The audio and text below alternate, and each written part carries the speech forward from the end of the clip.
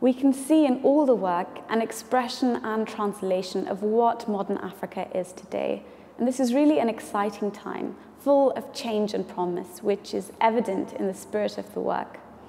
And we invite all art enthusiasts to visit the gallery and experience this in person.